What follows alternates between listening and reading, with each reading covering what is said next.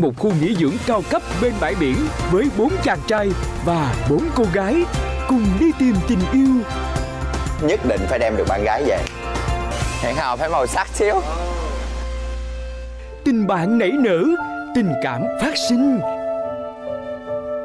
Nhiều khi chỉ cần ngồi bên nhau thôi, không cần nói gì á, cũng cảm thấy vui. Trò chơi cảm xúc luôn, tập đều thú vị với tất cả mọi người. Mời quý khán giả theo dõi ngôi nhà chung phiên bản đặc biệt Love Island vào lúc 22 giờ 45 thứ ba hàng tuần, trên HTV7. Vậy là 8 thành viên của ngôi nhà chung vừa mới đã lộ diện. Các chàng trai đã bắt đầu có cho mình những cuộc hẹn đầu tiên cùng với các cô gái trong bức ảnh mà định mệnh đã trao cho họ. Phong đã có những chia sẻ khá thẳng thắn và thoải mái với Quỳnh Ngân. Hình như cả hai có khá nhiều điểm tương đồng với nhau. Còn Hùng và Bích Trân vẫn có chút ngại ngùng, chưa thực sự trải lòng cùng nhau. Hai cặp còn lại sẽ có cuộc hẹn như thế nào? Mời quý vị cùng tiếp tục theo dõi. Em thích ở ngoài hơn Ừ anh thích ở ngoài hơn à, Anh ở bên đó với uh, gia đình hay là Không anh qua học mình qua À, học xong rồi học hả? học. Ừ Nhà anh ba mẹ anh ở Hà Nội Ừ anh Hà Nội Anh có thích ăn bún đậu mắm tôm không? Ồ. Ngon dã man Nó dưỡng lên Không, lúc trước em thích ờ, cái giọng của người bác anh. Em từng có một cái quan điểm đó chính là Tại sao mọi người không làm kiếm tiền để mình giàu hơn Mà lại lúc nào cũng nghĩ bản thân khi đủ tuổi phải cái lấy chồng phải bắt buộc phải có người yêu. Ừ đúng rồi. Lao động hăng say tình yêu sẽ tới. Không anh ơi em rất sợ. Em cảm thấy em còn công việc hơn. Ừ. Nhưng mà đến lúc này em lại cần một người đồng hành rồi Anh thấy ấn tượng xíu xíu gì với uh, các chị không? Anh thấy ở trong này có một bạn uh, mang cái skateboard ấy Chị Ngân Ờ. Nhìn em trông không giống chơi thể thao lắm Yếu đuối nó thì sao á ta? Anh cảm thấy hình trong cái hình mà nãy ban chức Ủa? Ờ, Anh thấy cũng hơi khác đấy Nhưng mà anh vẫn tìm được em. Khi mà lần đầu tiên nhìn thấy tấm hình thì mình nghĩ cô bé Ý là một cô gái khá là dễ thương. Quyên thì thực sự là rất giống ở trong hình. À, Chỉ có điểm khác biệt là bạn không đội mũ và cho nhảy tóc ngắn và à, ở ngoài tóc dài. Mà cái khác này có thích hay là không thích? Thích chứ, tại vì anh thích tóc dài tóc dài mà. Đang à, có kế hoạch là đi một vòng quanh Việt Nam ấy. Tất cả thành Anh phố. ơi, có đi ờ, mấy cái vùng cao chưa? Anh đi rồi, vừa ở trên Hà Giang về thấy tính cách anh nó rất là dễ thương có một tí gì đó gọi là thích phiêu du phụ các thứ cũng rất là thích Mình nghĩ là Quyên là một người khá là dễ gần và cũng cởi mở. Có thể là bạn ấy cũng hơi nội tâm một tí. Thì mới ngày đầu tiên mà à, để xem. Em lên đây lâu chưa? Em lên được 2 năm À, học đại học Năm nay năm 3 em có hay diễn sân khấu không? À, ba mẹ có biết tham gia chương trình này không? Thật ra em tham gia chương trình gì ba mẹ em cũng kiểu ờ, không có quan tâm cho lắm À, Kiểu khi nào có thì coi thôi hay tâm sự với ba hay tâm sự với mẹ?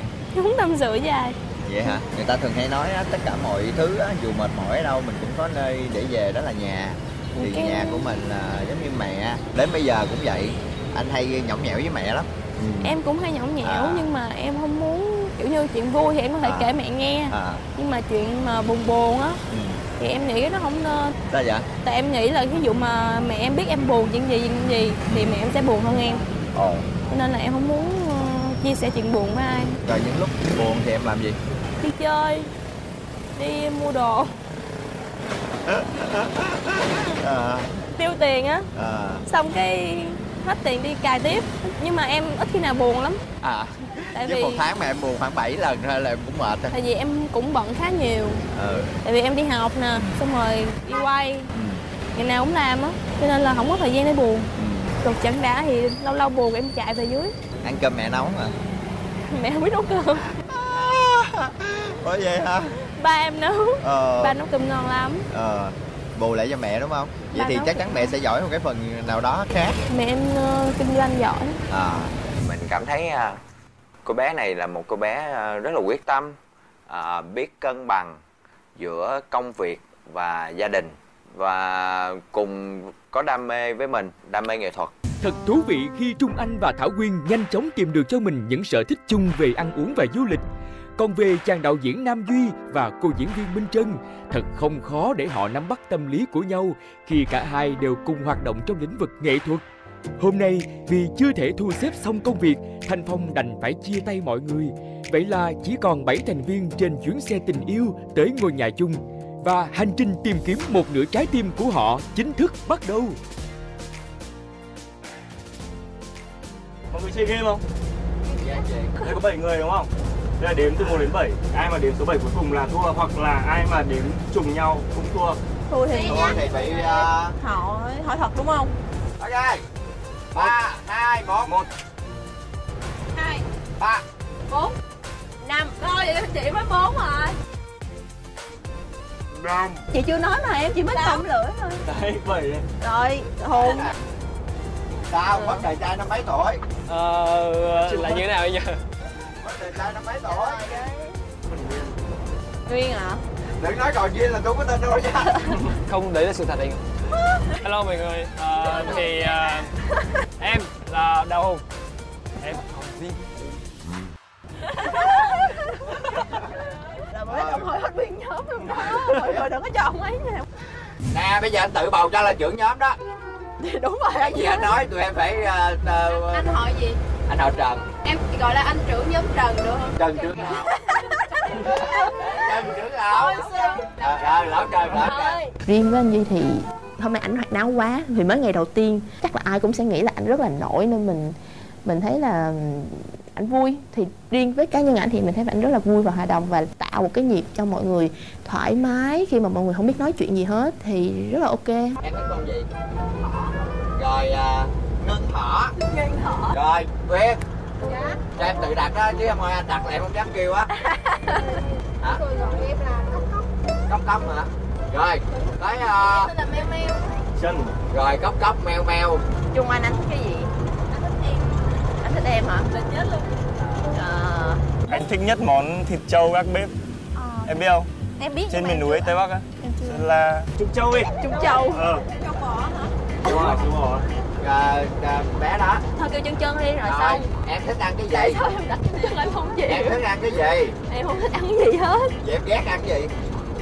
Không ghét gì hết luôn. Thôi vậy em đặt em là chân béo. Ôi anh vô duyên Em không tự đặt là anh đặt cho em là chân béo. Anh cho em chân chân đi. Thôi, chân chân gì em bình Anh đừng có gây cấn với em nha. Chúng ta phải có một cái biệt danh gì đó. Vô duyên người cứ kêu em là chân chân đi nha kệ ông. Béo Không Bạn ấy đã giới thiệu tên của em là chân chân rồi nên là mình cứ thế mình gọi thôi chứ mình cũng không không thực sự nghĩ là mình phải gọi cô ấy bằng một cái tên nào khác. Chân chân nghe cũng khá là thú vị. Suy nghĩ cho Phong luôn đi. Vòng phong phú. Thôi đặt cho là Phong Lan đi. Phong ơi Em ở nhà em gọi Phong Lan Hoặc là người ta gọi Lan Lan á đó. Nhớ nha Hành trình dài từ thành phố Hồ Chí Minh tới thành phố Phan Thiết, tỉnh Bình Thuận của các thành viên Love House dần tràn ngập những tiếng cười đùa rộn rã và dường như đã phá tan sự ngưỡng ngùng và bối rối về nhau so với lần gặp gỡ đầu tiên. Ai cũng mang cho mình niềm hứng khởi và sự tò mò về ngôi nhà mà sắp tới họ sẽ cùng chung sống. Và rồi ở đó họ sẽ sinh hoạt như thế nào, cuộc sống sẽ thay đổi ra sao và tình yêu có thực sự đơm hoa kết trái. Vô vàng những điều thú vị và bất ngờ đang chờ đón các thành viên Love House tại ngôi nhà chung. Bây giờ trước khi mở cửa tôi có một cái ý kiến như vậy. Bây giờ nha chúng ta là bằng tuổi nhau hết nha. Ờ Tất cả chúng ta đúng rồi tất, tất cả chúng ta đang bắt đầu thanh xuân thôi. Nha ok đừng có nhắc số tuổi ở đây rất là kỳ. Để em cố gắng À. Để chuẩn bị phòng cho mình dạ cảm ơn. Chị cái hướng này để dùng với thông tin nha Dạ Đi đi qua bên đây mấy đứa Trời dễ thương nha. Trời ơi cái phòng này là phòng gì á? Vô vô vô vô. Vô vô. Đã. Ừ, Ngon quá. Sau 3-4 tiếng? Ngồi. Ồ. Ê cái tóc em không hợp. Ê anh cài đi anh cài đi. Em ờ,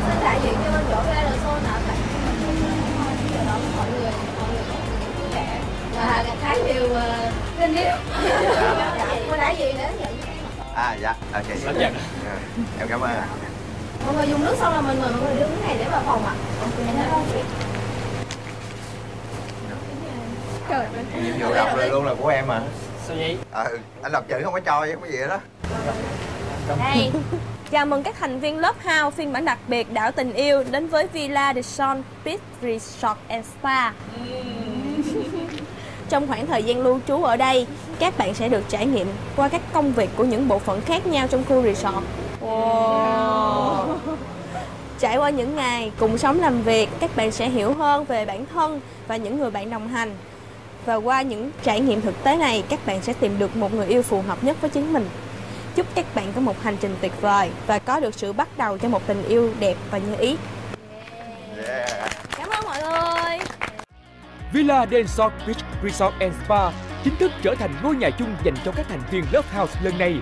Nơi đây bao quanh là những hàng dừa xanh, tô điểm cùng hoa lá, cảnh đầy sắc màu. Các phòng nghỉ dưỡng đều có sân hiên hướng thẳng ra phía bãi biển dài cát trắng phan thiết, mang lại một cảm giác thư thái và yên bình. Và với những cảnh sắc thiên nhiên đầy thơ mộng và lãng mạn thì đây chắc chắn sẽ là nơi lý tưởng để những tình yêu thăng hoa và chấp cánh. wow có cái giọng lão á Ồ wow Trời ơi lẫn mọn quá đè. Được á. Ê tụi mày đứng đứng hàng ngang nhìn về một hướng. Sao nó sến lắm anh? Ê cái gu của ông mày sến lắm nha mọi người Cẩn thận nha đừng đừng có À. làm cho ông đạo diễn hình ảnh nha. Mình thấy thích tính cách của Chân Chân bởi vì à, Chân Chân khá là khá là thẳng. Và kiểu như Chân Chân có vẻ hơi à, bí ẩn. Ngoài ra thì bạn ấy cũng khá là ngầu so với suy nghĩ của mình và mình muốn tìm hiểu thêm.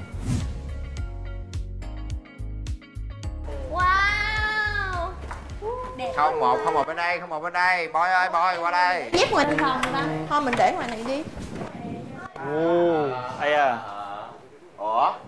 Dễ thương quá. View biển luôn. Ờ, quá tuyệt vời. Wow! Wow! Trời ơi thích quá. Khi mà đến với resort thì mình vô cùng thích. Thật sự ở đây rất là đẹp tại vì vừa gần biển mà lại kiểu như có mấy cái tầng trang trí để có các thứ rất là đẹp tông màu trang trí ở đây rất là đơn giản và nói chung là kiểu sang trọng và rất là thoải mái rất là nhiều dừa và đặc biệt là bãi biển rất là thoáng thì mình rất là vui khi được ở trong một cái chỗ rộng rãi và thoải mái như vậy Mình thích nhất là cái view ở căn villa được ờ, nhìn ra biển, nghe tiếng sóng biển, có thể ngắm mặt trời mọc, mặt trời lặn, hoặc là đi dạo trên biển. Phòng tắm rất là đẹp, giường nằm rất là êm. Hy vọng sẽ có một giấc ngủ ngon. trời hoành tráng quá vậy Siêu đẹp luôn. trời ơi. Ủa phòng này mấy người Hai người. ai? Trời ơi không được rồi tôi kiện ba tổ chức. Có lộn phòng không vậy Không, ở trên còn bự nữa. Sao phòng mình nhỏ xíu à? Nghe đồn là trên còn đẹp nữa. trời ơi! Không được không được. Phòng nữ quá thì đẹp không? Trời ơi có kìa hoành tráng quá. Trời ơi phòng em gì nhỏ xíu nhỏ hơn cái giường này nữa. Mà em hả tám mươi mấy ký với là một thằng cao một mét tám mươi tư. Giảm cân đi anh ơi. Nhưng mình bằng nửa đó. Biết phòng này của ai không? của ai? Của em á trước sau thì nó cũng là của anh hết em à. Hả? Vậy hả? à. nè bây giờ vậy nè bây giờ nói chung á là mình à, mình đi mình đi xa mình phải thể hiện tinh thần đoàn kết. Rất là đơn giản chỉ cần hai bạn nữ thôi. Đi xuống dưới cái phòng đó ngủ và bốn tụi anh có thể ngủ trên đây. Ok? Không ok bây giờ anh mới thấy được một anh mới thấy được bộ mặt thật đó. Hả? Cái gì? Không, anh đâu với cậu nhà rồi lý do gì chúng ta là đi xa chúng ta phải đoàn kết chúng ta phải đồng cam cộng khổ nè. Kết nghĩa là gì? Là kêu vali thắt sắt lên đúng không? Đoàn kết không vẫn có người sắp là em mà anh vẫn có công người sắp là đi lên coi phòng nữ hay Trước khi đi coi sẽ lên em. Rồi đi lên thôi anh là hết muốn coi rồi em. Trời ơi, Trung Châu Trung Châu hai cái luôn chị nè em em. Nè gánh này lên cho bạn đi cưng Luôn hả? nói nghe nè tụi em lên tiếng đi tụi em cũng ngủ ở dưới phòng đó đó Sao người? Mọi người ơi, Mà em nghĩ là nam của nó cũng được mà đúng không anh? em sao xuống dưới đi anh. em giữ xuống dưới hả Dạ. trời ơi Còn em thì em lên em ngủ hả à bây giờ vậy nè chương trình cho thêm một phòng nữa giống như là cái phòng nhỏ của mình ở bên kia cho các bạn nữ chung một tầng còn nam là tầng dưới với tầng trên Không ok được, chị sao không được? Ở kia đi ok vậy à trời. Là cái cũng hồ đẹp bơi đúng rồi. Cái hồ bơi kìa rồi đi em. Hôm nay hả? Không chị mà được rồi nhưng mà qua cái chuyện dành phòng này tôi mới thấy sự đoàn kết của cái team mình. Anh ơi mọi người đã biết anh như thế nào mà. Anh đừng cứ phô mình ra nữa. Đây chị. Phòng đẹp này gì? View bể bơi đâu. Kêu bể bơi vậy em thích sao? Ok. Chị cho anh phòng bên kia. giờ tụi em giờ lên coi sách con lên lên giùm không ta. Xuống mấy đó. Ê mấy đó đi xuống. Cấm đứa nào mà xách vali giùm ủa nha không sách hả? Không trời ngồi vậy luôn á hả? Ôi ơi em mới là em mới nãy em là cái chân nhỏ không có nhường ha đây là luật của chương trình chứ em không có nhường ha. Em là cái người mà xéo sắc nhất em là cái người mà không nhường không nhường ha. Miễn sao là tụi anh bốn đứa đổi phòng cho tụi anh thôi ok? Không ok không ok. Các bạn có cho hay không? Không. Hai chị thích thì hai chị chứ chứ. Không không không không thích. Chân vali của em là vali nào? Anh xách lên cho em. Chân nhỏ tự xách chân lớn vali rồi em xách lên cho chân lớn. Ôi sấy anh kêu anh sách mà sách. Em xách vali lên cho chân lớn chân nhỏ để tự xách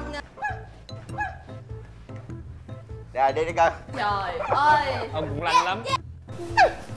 Bực bội. Em ơi. Sau cái buổi nói chuyện rồi thì tiếp xúc càng nhiều càng nhiều càng nhiều thì thấy à, cô bé này sao mà con nít quá có nhiều cái mà mình cảm thấy ờ, rất là trẻ con nhưng ờ, nó không làm mình bực bội bởi vì mình cảm thấy nó cũng dễ thương. Thế là cái phòng ở dưới kia không sử dụng cái phòng không thì mình mình mình muốn sử dụng là mình sử nãy dụng. giờ em xách vali quá nhỉ em mệt lắm rồi. Ở dưới còn ba bốn cái em cứ nghỉ ngơi đi. Ừ, khi nào khỏe thì xuống sắp vali lên. Bây giờ tôi đi xuống tôi gom lên tôi đi tắm. Nói về căn phòng ờ, mình đang ở thì nó rất là đầy đủ phải gọi ờ, hơn cả nhà của mình của phòng của mình hiện tại ở nhà. Mình cảm thấy nó hơi thiếu một chút xíu đó là thiếu về cánh cửa. Tại vì cánh cửa nhà vệ sinh nó không có nó hơi bất tiện một chút. Bây giờ mình có hai phòng.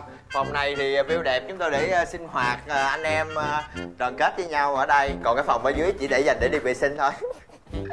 Bởi vì Đứt- đứt quá. bởi vì ờ, ở đây không có cửa.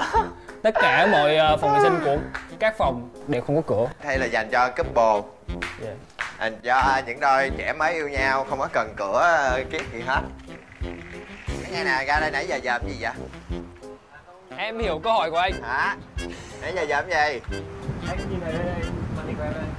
À màn hình của em full cũng full HD đó. Nghe tập nhìn nó cũng cũng ổn ha. Rồi rồi rồi hơn hơn qua đây mắt của anh gần nhất đây đã hả? Gì đã em phải nói cái gì đã biển hả à Dù đã có cuộc tranh cãi nảy lửa với nhau về phòng ốc khiến Minh Trân khó chịu và tỏ ra giận hờn với Nam Duy, nhưng ngược lại điều đó, Nam Duy dường như bắt đầu cảm nhận được sự thú vị từ cô bé đáng yêu này. Còn với Trung Anh, anh chàng đã bắt đầu có những hướng tiếp cận và dành nhiều sự chú ý hơn cho Bích Trân. Tối đến, các thành viên Love House đã có bữa ăn tối đầu tiên tại ngôi nhà chung với những món ăn vô cùng ngon miệng và hấp dẫn. Có vẻ mọi người đang khá hoang mang và lo lắng khi không biết ngày mai thử thách và công việc của họ sẽ như thế nào. Công việc của họ sẽ như thế nào? nếu như mà mọi người nghĩ ờ, ví dụ như là làm việc trong nhà hàng thì mọi người sẽ chuyên về cái cái gì nhé quản lý quản lý hả là hồi đó mọi người đi đây đi đây đi đây không em nói đùa. Đốc đốc em nghĩ em phải làm được gì? Em đâu biết làm trong này là làm những gì đâu. Thay ra giường hay là xả nước hồ bơi hay là gì đó. Thôi nghỉ luôn cắt cỏ. Thôi em sẽ cắt cỏ. Bây giờ biết ăn no rồi mai còn đầy sức. Thôi đúng rồi ngày mai đi ăn đi. nhưng mà nếu mà phục vụ ở đây chắc anh nghĩ sẽ cũng đơn giản đừng bắt đi đụng rác hay là cái gì là được. Sau bữa tối no nê, các thành viên nhà chung quyết định đi siêu thị thành phố để vui chơi và mua sắm. Có lẽ đây là khoảng thời gian thoải mái nhất trong ngày khi họ có thể tự do bên nhau, thể hiện chính mình. Từng ánh mắt, từng cử chỉ, họ âm thầm quan sát và để ý lẫn nhau. Và ở đâu đó, những tình cảm đầu tiên bắt đầu đâm chồi. rồi thấy sao rồi sáng giờ có ấn tượng với cô bé nào không nói chung cũng có ấn tượng một vài người nói chung mọi người một kiểu à, ăn sao anh thì cũng thấy vậy tại vì mọi người chưa chưa có hot một lọ hết á. chưa cần mở đâu tại vì mọi người đang còn khách nếp lắm. ví dụ như ờ, bốn cô gái ở ở đây á thì ờ, nếu như mà chọn một trong bốn cô thì em sẽ chọn ai? Thì trong bốn bạn nữ ờ, mình thì mình cảm thấy ấn tượng nhất là với chị Trân. Nhưng mà để mình nói thì tính cách của chị là rất là trưởng thành. Nếu mà để hẹn mà nói chuyện riêng tư thì chắc chắn mình sẽ vẫn chọn là chị Trân. Tại vì mình có ấn tượng nhiều nhất. Anh cho anh cho phép em quyền lái máy bay mà được quyền lái máy bay mà tại vì trong này có hai cô hai cô là nhỏ thôi chứ chỉ À. nhà tôi lên mà nhìn em nói em hơn chín bảy ta dẫn tin mà. Đúng rồi nhìn mặt em cái kiểu đàn ông khoảng 30 rồi này nọ người ta dẫn tin thiệt tao nói thiệt mày tin tao đi tao nói thiệt. Ờ,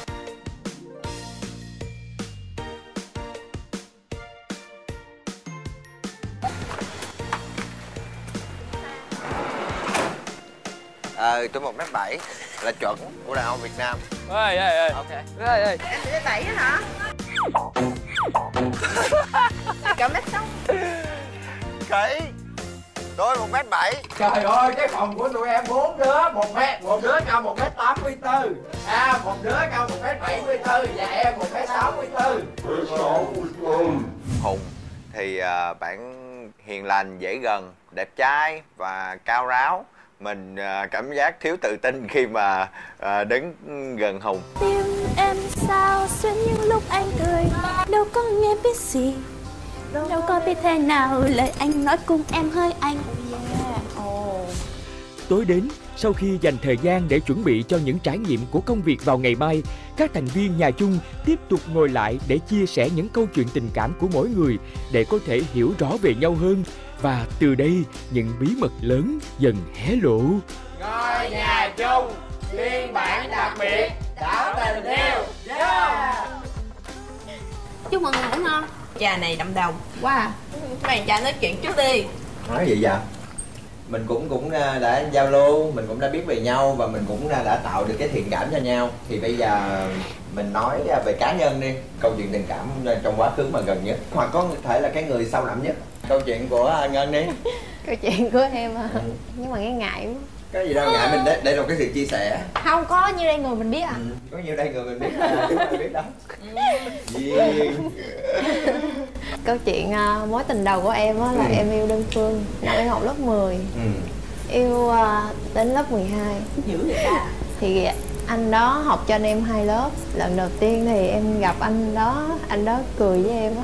Nụ cười rất là đẹp có một bài nụ cười của anh không? Trong bốn chàng trai mình gặp hôm nay thì mình ấn tượng với anh duy nhất. Tại vì ngoại hình của ảnh cho dù là không có được ờ, cao to Nhưng mà cũng kiểu ảnh rất là tự tin về bạn ngoại hình của mình. Nên là rất là kiểu như ấn tượng về ảnh. Sao bị khó vậy không có mọi người ơi chị đây có một cái bí mật đó mọi người. Cái gì? Bí mật hả? Chị này có một cái bí mật chị rất là dễ thương. Ờ. À em thích vẽ. Ừ. Thật ra em cũng giống là một người không có biết thể hiện tình cảm bên ngoài. Cho nên cái gì đó em cũng để ở bên trong lòng. Ừ. cho nên là mỗi khi có gặp chuyện gì đó mà em nhớ thì em lại vẽ giống như em ghi lại cái kỷ niệm đó đáng nhớ của em. Cái này giống như chị vẽ lại những gì mà chị trải qua vậy. Cái này là hôm chị nằm mơ thấy một người. Người đó cười với chị. Trời ơi em nói thiệt chứ giống y chang như cái anh hồi sáng. Anh phong á hả? Ờ, Đúng rồi em Giống. nói thiệt nhìn thấy giống quá vậy anh ấy có nốt ruồi ở đây à? Ừ. Hơi nhiều. Nước rồi á. Ừ. sao giống em tả anh đó vậy? Chưa anh. Nãy giờ nói giống em tả anh đó vậy? Anh cho người ta nói anh đừng có nhảy vô hậu người ta anh ấy lớn hơn em có 2 tuổi à. Trời, không phải anh.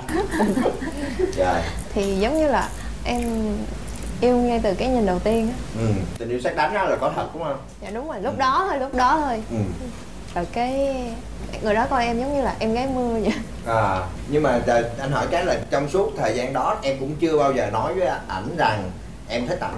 Dạ đúng rồi. Tại sao? Tại vì em nghĩ anh ấy không có thích em. Đó là câu chuyện em nghĩ. Được không được gì em cũng có một cái câu trả lời cho quá khứ của em. Giống như là lúc đó em còn nhỏ em ngại không có tự tin. À, đúng rồi em không có tự tin để để mà nói yêu ai hết. Ừ. thì sau cái câu chuyện đó rồi thì em có đủ tự tin để bước tiếp cho cái cái cái cuộc tình thứ hai không? Sau cái đó thì có Ừ. tự tin. Ừ. đó là lúc là năm 18 tuổi. À 18 đủ tuổi. với bạn à, bạn Ngân thì mình à, cảm thấy à, cô bé này tuy là ít nói nhưng rất cá tính và có một cái gì đó sâu lắng bên trong chỉ thể hiện qua ánh mắt. Và nhìn vô ánh mắt cô bé này nó như là người ta hay nói là ánh mắt biết nói á thì cô bé này à, tuy rằng ít nói nhưng mà mọi cảm xúc đều thể hiện qua ánh mắt. Do gì câu chuyện rất là Chân thành lên đây. Quen Dạ. chân rồi. Rồi. rồi giờ thế đây. nào chị về chị. Rồi. Chị anh hả tình như thế nào? Ờ, sao mà dữ vậy? Căng thẳng lắm á anh. Nói chung thì ờ, dữ vậy căng thẳng lắm. Ờ, hai hai mối tình gọi là sâu đậm một mối tình thì năm ờ, 17 tuổi có quen một bạn và quen 5 năm. Sau đó tụi anh kết hôn. Và tụi anh sống được với nhau ờ, 5 năm. Xong sau đó thì ờ, tụi anh ờ, chia tay.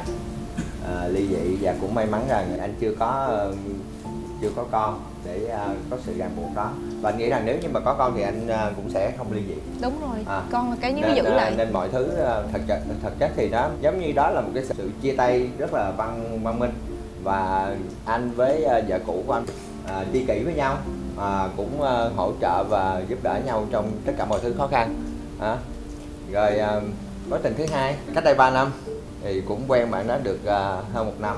Cứ nghĩ đâu rằng đây sẽ là người cuối cùng nhưng mà đúng như cuộc đời nói là sẽ thú vị. Tương lai chúng ta diễn ra điều gì chúng ta hoàn toàn không biết. Và giống như cái thời điểm mà mình à, suy sụp nhất thì à, họ cũng à, bỏ mình mà đi thì mình nhìn lại mọi thứ. Thì bắt đầu lúc đó là anh cảm giác như là mình không còn tin vào tình yêu được nữa. Anh chán ngán cái sự đời và nhất là cái tình yêu á. Em đồng cảm á. À. Riêng về bên các bạn nam á thì mình ấn tượng với lại câu chuyện của ờ, anh Duy.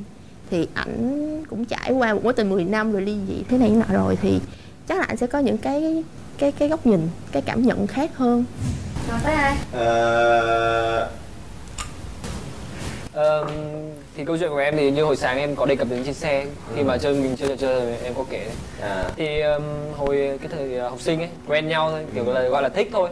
Còn nếu mà gọi về mối tình đậm sâu thì em có một Ờ, đấy là hồi uh, sinh viên năm nhất. À, mới vào trường là em uh, bắt đầu quen bạn đấy. Sắp kỷ niệm uh, 7 tháng em biết tin gọi là em học thêm sừng đấy. Ừ. ok à, dạ.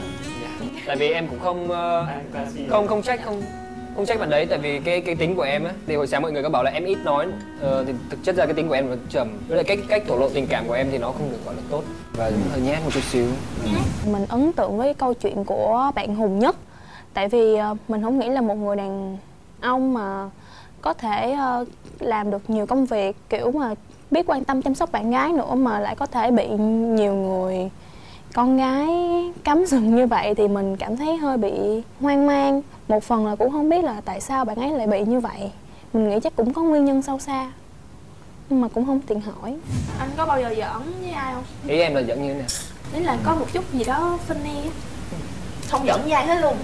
Ừm, không em thấy anh này có làm già đúng không? không? em mới giỡn anh luôn anh tính hỏi. Em thấy anh cứ Dạ, giỡn kiểu mà. như anh hay nhìn với bạn kêu chào mọi người. Không tại do Mọi anh chưa có cảm nhận được cái um, cái điện trong người anh à đây kìa mọi người đâu luôn chưa mà yêu thì chắc em thấy chưa đâu?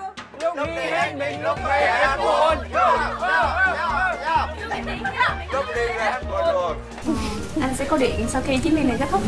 Ok thì em um, mong những ngày sau, những ngày còn lại um, ờ, mọi người ờ, vẫn giữ cái tinh thần gọi là đoàn kết hòa đồng như thế này. mình ấn tượng nhất là câu chuyện tình cũ của bạn Hùng. Cảm giác giống như là bạn ấy bên ngoài lạnh lùng bên trong thì à, ấm áp không biết thể hiện tình cảm. Cái điều đó cho làm cho mình cảm thấy có một chút gì đó dễ thương cho nên mình cảm thấy ấn tượng. Hai bốn sáu bảy. Thiếu thiếu một thành viên. Chắc mà anh nghĩ câu chuyện của thành viên đó cũng thú vị. Cũng đậm. Đó thì ngày mai mình cũng ờ, đào phong ra và mình khai thác những điều đó cho triệt để nha. Hay là giờ mình gọi cho phong rồi. Gì? Gọi luôn. Gọi nè nào gọi nó đâu rồi. Về đây gọi cho phong ủa không có thấy à thấy kìa. Hello. Ôi. thấy mọi người không? Tin vui của em á là em có thích em mới nha. Thích em có em là Phong Lan. Đúng rồi. Không, mọi người không nhớ em em. Ừ, mọi người không có thời gian nhớ em đâu à, giữa bạn Phong với bạn Hùng thì à, nếu mà xét về ngoại hình thì có vẻ có tình cảm với Phong hơn. Nhưng mà nếu mà cảm thấy tính cách của hùng thì thích hơn. Cho nên vẫn chưa xác định được là thích ai nhiều hơn. Ngày mai thì ờ, mình muốn có thời gian tiếp xúc với bạn phong. Bây giờ em lên xe rồi đúng không? Anh cũng không muốn làm phiền người kế bên cạnh em đâu. Nha rồi thượng lộ bình an ra với tụi anh. Ok rồi bye. Sau khi được tận hưởng các dịch vụ tại Villa Del Sol để rồi tưởng chừng sẽ có một cuộc sống an nhàn và sung sướng thì từ ngày mai các thành viên Love House sẽ phải sắn tay áo lên lao động để mà sống như những người nhân viên thực thụ tại nơi đây. Và trải qua một ngày dài bên nhau các thành viên cũng đã xác định được những đối tượng mà mình đặc biệt quan tâm đến. Nam Duy có khá nhiều thiện cảm với cô bé đáng yêu Minh Trân còn Trung Anh và Hùng đều muốn tìm cách tiếp cận và hẹn hò với Bích Trân. Tuy nhiên, Bích Trân lại dành sự ái mộ cho anh chàng lắm lời Nam Duy vì thích thú khả năng kết nối nhóm của anh. Thanh Phong tuy vắng mặt nhưng ngay từ đầu đã để lại ấn tượng sâu sắc cho Quỳnh Ngân. Còn riêng Thảo Quyên, cô bé vẫn chưa thật sự thoải mái mở lòng với bất cứ ai. Những ngày tới sẽ ra sao? Liệu mũi tên tình cảm có xoay chuyển? Hãy cùng đón xem tập tiếp theo vào tuần tới.